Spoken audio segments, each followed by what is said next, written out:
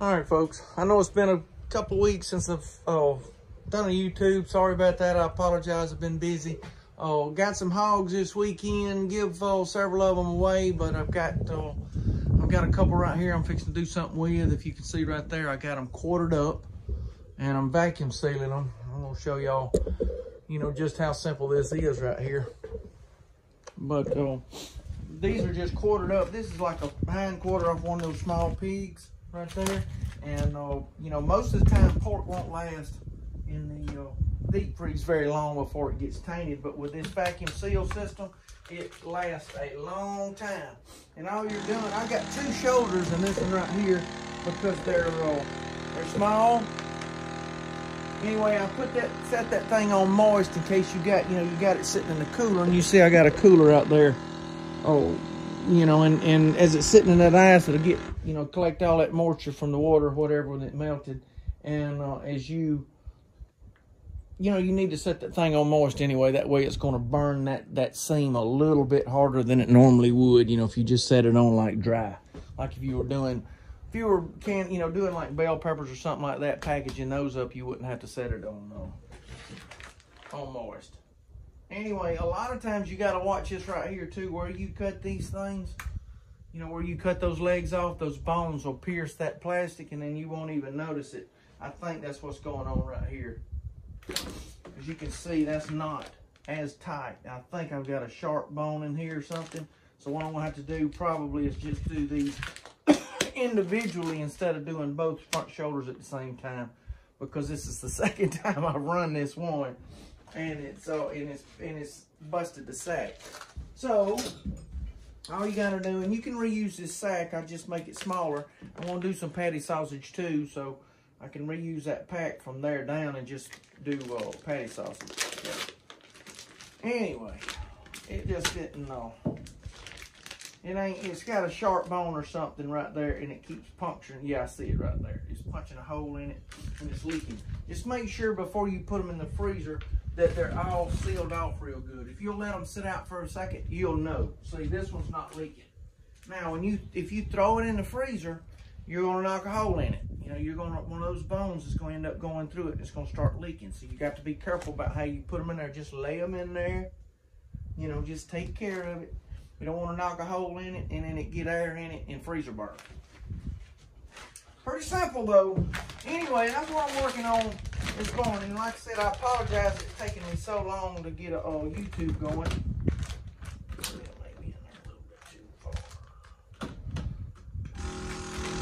Now you can get these things at Walmart or whatever. I mean, this is a commercial one from uh, Bass Pro, and it's so, uh, you know, it works pretty good.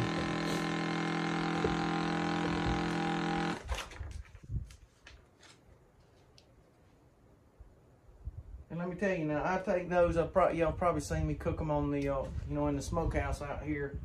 What I'll do is is even as it's in the pack, I will uh, thaw it out. You know, throw it in the sink or something one morning and in that afternoon, or or either throw it in the sink that night, thaw it out during the night, oh, and get up the next morning, and I'll inject this this ham or shoulder or whatever while it's still in the in the vacuum sealed package and in that way, you don't have the mess to deal with, you know. Then when you get ready to uh, to put it on the smoker or the grill or in the oven or whatever, you can cut the sack, pull it out, put your rub on the outside of it. It's already injected. It's been marinating in it. Uh, and then throw it on the grill. Look at that. Oh, it's going to be good, y'all. It's going to be good guarantee you. That's a little front shoulder off one of them. This is probably my favorite part of the whole hog. I don't know what it is, but I love the front shoulder, especially on the smoker. But now I've always been a, uh, I like uh, shoulder steaks better than I do uh, pork chops. I'm a dark, I like the darker meat. I don't know why, it's just got more flavor to me. But anyway, you get the gist of what I'm doing. I'm fixing to, uh, I'm gonna get all this stuff right here vacuum sealed and then I'm gonna jump over here and start working on some patty sausage and doing some grinding over here on this. But that's what we're gonna be doing in just a little bit and we'll get you caught up on that and I'll show you how I mix it and all that, you know, with the, uh, put the sausage seasoning and, and all in there. But anyway, y'all hang in there. We might fry up some in a little bit and uh, and make sure we got the right uh, right amount of seasoning in that sausage. Come on, big boy. See there? That's what I'm gonna have to do with them two right there. I won't have to do them individually because the bones are sticking through there. Anyway, y'all hang in there. We might fry some sausage up in a little bit. All right, here we go. Now, last time y'all saw me, I ground the sausage. Oh, I think I mixed a little bit of deer in there with it. Oh, I mixed my seasoning. This is the seasoning that I use. It's only because I like it. I mean, I'm sure y'all have, probably people have their own preference about what seasoning they like. This is just, this is just the blend that, oh, is close as what I grew up to, you know, used to eating. So this is this is just the one that I like. Anyway, you can use whatever you want to. You can mix your own up. But anyway, what I've done on this, I'm not going to make smoked sausage. So I'm not going to stuff it in the casing and I'm not going to put it in the smokehouse and smoke it. The only thing I want to do is I'm going to grind it. I'm going to grind it with the coarse, oh, the coarse knife, I guess is what you call it. Alright. And what I'm doing with the meat right now is I'm letting it drain because it's been sitting in the bottom of that cooler and it's full of water and I don't want it soupy. So I'm letting it just sit here in the sink and drain. And I want to go back through and pick some of the hair because every now and then you'll get some hair or some kind of crud or something on it. And we don't want no hair or no crud on our sausage. So I'm going to run it first. I'm going to run it through this knife. I'm going to call this a knife. I don't know exactly what you call it. Anyway. Oh, and then I'm gonna mix my seasoning in it. This does 25 pounds, and I'm thinking I'm pretty close. I may be a little over. If I, if not, I got some more in there if I'm a little bit over. But this will do 25 pounds of meat, and oh, and it mixes it awesome. I'm talking about this stuff is to me, to me, in my opinion, this is the best blend that I found. Anyway, once I get that stuff really mixed in there good and all, I mean, you got to sit there and really get after it. And let me tell you, your hands will be freezing. Oh, I always do this on a on a good cold day, and that way you're not, you know, because if you'll look right here, I've got, I've just got this meat laying out, but it's 30 degrees, so I don't have to worry about it. The wind's blowing, you know, of course, it's just perfect conditions for this. This is why I built this outdoor kitchen. I am not in the house jacking this, dragging this crap through the house. I don't have to worry about it. It's easy to work with this big old sink. This is why I wanted this old sink like this. Perfect. But anyway, let me get back to my story. I'm getting off track. I know it. Sorry about that, y'all. I'll run it back through this fine one, and then that'll be perfect for the patty sausage. Boom. See, that's all I had to say in the first place, wasn't? Anyway, oh, let me uh, let me go back through here and pick all the hair and clean this up really good and let it drain a little bit. And I had some folks asking, I think this is a 22, and I think this is like a horse and a half on this motor. So, uh, pretty strong. As fast as you can poke it in there, it will grind it up. And, uh, and be careful. I don't think I can get mine in there, but oh, you got to be careful with this thing because if it ever gets a hold to you, that auger, it'll pull you right in it. But like I said, I, my hands is big enough that mine won't fit in there. But uh, people with smaller hands, that's what they make this right here for. And plus they've got a pan that goes on top, but I hadn't got it out here yet. I was just, I was thinking about just doing it like this. That way y'all could see better about what's going on. Because it's got a lip around the outside. But anyway, for those y'all that hand will fit in there, use this. Because you see what it did to that right there when it catches it. That thing right there will suck you in there and grind you up. So you got to be careful. Anyway, let me get this picked up, picked off, cleaned up, and uh, drained real good and cut up to where we can get it in that thing right there, and we're gonna grind some sausage. Ooh, yeah, baby. Y'all look at this thing right here in action. Let me tell you, this is my favorite knife right here in the world. Now I'm leaving, I'm leaving, oh, your little hair there, here and there. I'm leaving a lot of that fat on there, y'all, because these wild hogs are so lean. So, you know, you don't have to you don't have to leave it all on there, but I would, uh, it makes it stick better if you leave, you know, I leave a lot. Especially if I was going to mix like a deer or something with it, you know, I'd mix a whole lot in there with it. I think I can poke that in there. I don't know, I'm to cut that in half. But anyway, all I'm doing is cutting this stuff up just small enough that I can poke it in that hole right there. Because listen, that thing right there will grind it.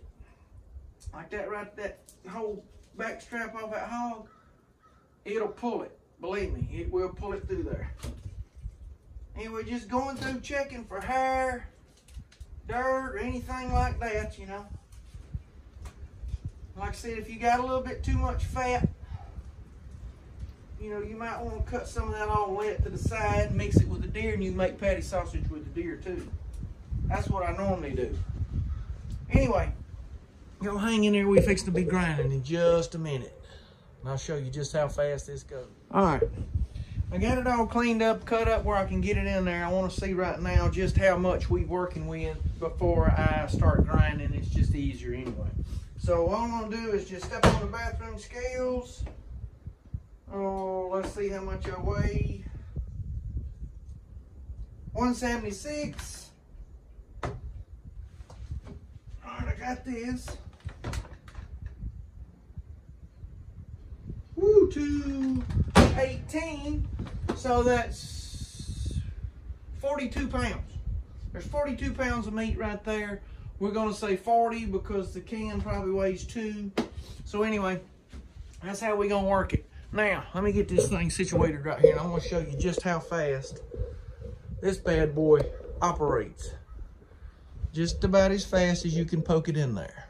Now, I'm gonna leave it in the sink right there because that's going to be a big container that I can actually mix that seasoning in right there. Let me get this set of scales out of the way. All right, here we go. Maybe y'all can see this. Now, if you've got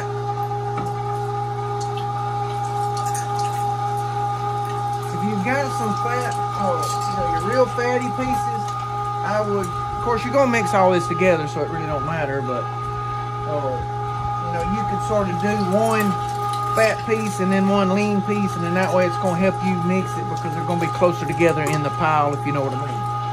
But right now we're freestyling, we're just going with it. So uh, we're doing a lot of the fatty pieces now. Look at that though.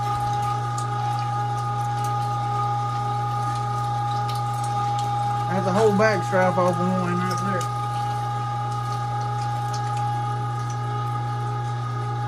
there. It don't play around, folks. This thing right here will grind it up in a hurry. About as fast as you can put it in there, it'll grind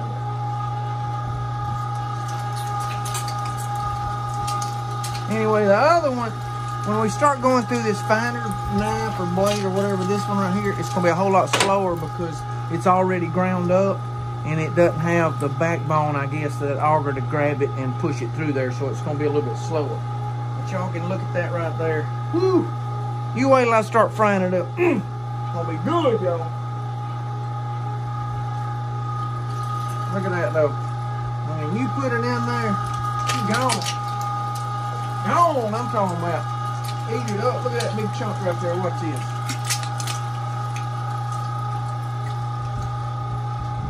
Eat it up. Oh, now you're gonna call me a lie. I see what's going on now. There you go. There you go.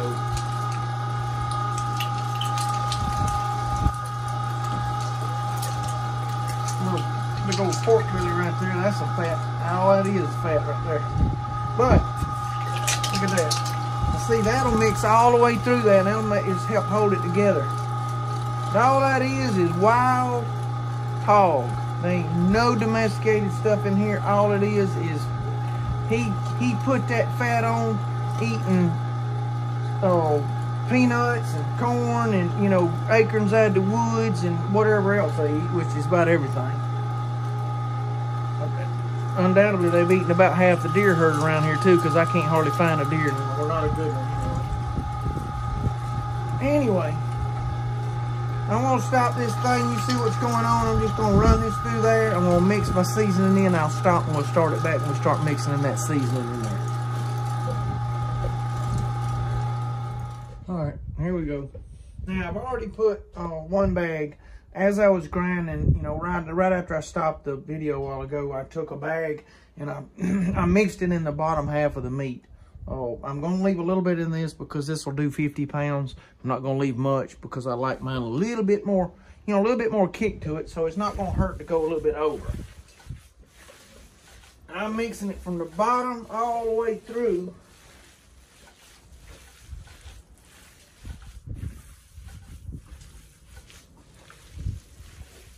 And let me tell you something. You need a bottle of uh, I mean, a big jug of hot water because let me tell you, your hands, my hands are freezing already from, from dealing with this stuff. It's super cold. You know, because it's been in that cooler. And, uh, hey, it's cold outside. You know, it's pretty cool here. We got a real super humid, humid wet down here in the south. It's, it's, uh, it's pretty tough. All right. Turn that under. And then hit it one more again with a little bit more. And then I'm gonna stir for a while. That is a lot of patty sausage, y'all. All of this right here will go to Kansas probably. And this is what we'll eat when we're up there. We've got a freezer. I've got another freezer. I'm gonna plug it in, have you know, a new one, and I'll have it, uh, have it going and ready. And all we gotta do is load the uh, freezer up, and you know, 12 hours, 12 hour drive, it won't be too bad. Yep, I'll leave a little bit in here. All right, now I'm really fixing to mix.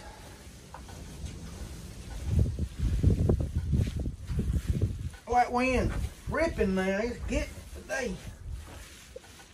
Now work it good, y'all, work it. I've got the, uh, I got a frying pan on the stove over there and I want to try a piece, just make sure, make sure everything is good. It's seasoned up good, but you know. Not, I'll go back and put a little bit more in it or add a little bit of something else to it if I got too much. But it's pretty close. It says, you know, 20, one pack per 25 pounds. Oh, y'all don't know. My hand's so cold. So cold. Whew. That right there, that fat's good for you. Oh, good for your skin. anyway, I'm going to stop this right here. And uh, and clean my hands up and, and get situated and start poking it in here and running it through that through that fine knife right there. All right, I got it. I got it started. Uh, I did just a little bit. Like I said, I wanted to try it out first. So, you know, you see it right here. It's straight from the from the grinder to the uh, to the skillet right here. But you can see, see how fine that is compared to, you know, the other. Anyway, I'm fixing to fry that up, and I'll uh, as soon as this is done, we'll crank it. You know, I'll crank the uh, video back up, and we'll see what uh, see how it tastes and make sure it's good, and then we'll continue on. You know, finish up the video. All right, pull them out right here. Yep.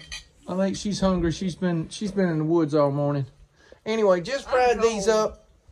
Yeah, it's cold. Ain't no so doubt. cold. All right, just fried these up. Cut that and try it. I've been over here grinding just just because.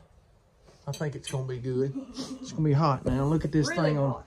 Look at this bad boy on the ground right here looking for something. He's looking for something. Whatever's falling, he's gonna pick it up. Merle. He says, all right now, you gotta He's give ready. me something to eat now that you said my name. All right, let's see what you think, dude. What you think? You know I gotta blow on it for like 20 yeah, I know it. I know it. Shouldn't be too bad. Try and see. Make sure it's good. It's gonna burn me. Quite hot. Hot. Yeah. Mm. Here, drink right there. Drink. Hmm. It should be good though. It's good. It should be good. You don't took all that. I knew too. Ooh, anyway, let me try. Let me give it a try. Sorry about that. You gotta hot. Gotta Woo, it's good though. Good. Mm-hmm. Looks hot. Looks hot to me, Hannah. There's steam coming off of it. Look at it. It looks a little warm.